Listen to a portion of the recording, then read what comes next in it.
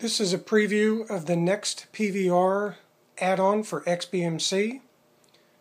Uh, the first thing I'm going to show you is the configuration uh, under System, Add-ons, Enabled Add-ons, PVR Clients. You'll see the NextPVR client configuration and this is the 1.0 version uh, sub is the developer of NextPVR and also the uh, the developer of the add-on for XBMC. So in the configuration, you can see there's there's not much to it. You put in the IP address of the server wherever NextPVR uh, backend is being hosted. Uh, the default port is 8866 so I just left that to the standard or, or to the default rather. And same with the pin code I just left that to 0000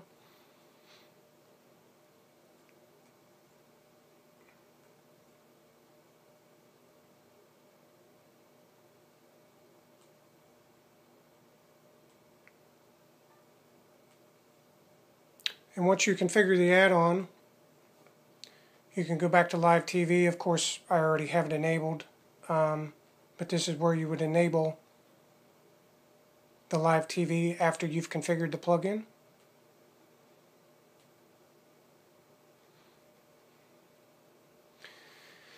And then on the live TV main screen, you can see recordings, upcoming recordings. Uh, if there's any current recordings, it will show you those here as well in the upper right hand corner. So when you go into live TV, you can see your channels and the guide. The one thing I love about uh, NextPVR is it actually shows the it shows the actual channel number um, for like I use Dish Network on my back end for my set-top boxes uh, connected to HD PVRs and I also have two HDHomeRuns that or I'm sorry, I had one HDHomeRun that's dual tuner that uh, captures my off-air channels. So 4, 5, 11, 17, 22, 28, 50. These are all local channels to, to where I am in Raleigh, North Carolina. I don't have any radio channels configured or radio stations configured in NextPVR, so I can't show you any of that here the electronic or the uh, the program guide defaults to now. you can also see the programs that are coming up next. And you can also see a timeline, a regular TV guide like that you would see in uh, your cable box or uh, dish network, whatever.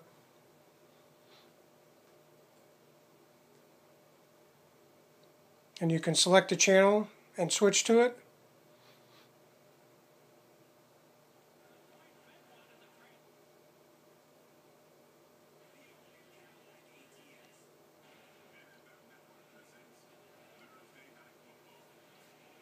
There's also a mini guide when the TV's playing that you can bring up.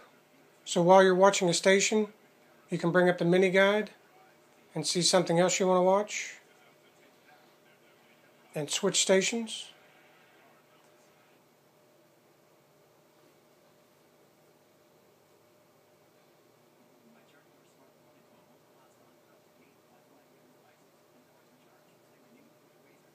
the information panel shows you the channel you're watching, the program that's playing now, and then what's playing next down at the bottom.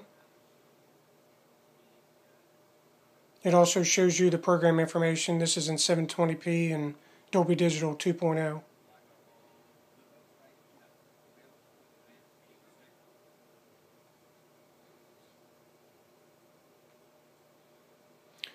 You can also view and watch recordings.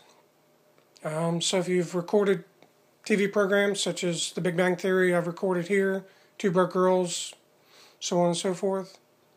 You can view your uh, your recordings and play them directly from here.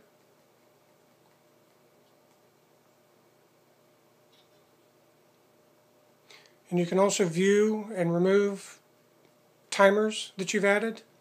Uh, I use the web guide, the uh, NEWA, N-E-W-A web uh, guide to actually schedule my series recordings. Um, you can schedule recordings, manual recordings in the, the XBMC as well, but I use the, the web guide for pretty much everything.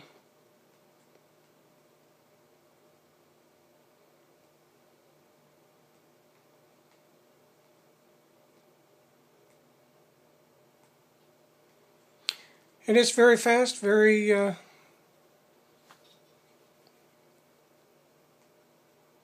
very well connected. Seems to work really well. Haven't had many problems. Uh, Sub has been great working with me to uh, to work out any remaining issues, and uh, right now it seems to be working perfect. I have four clients connected to the server downstairs, and uh, seems to be working great.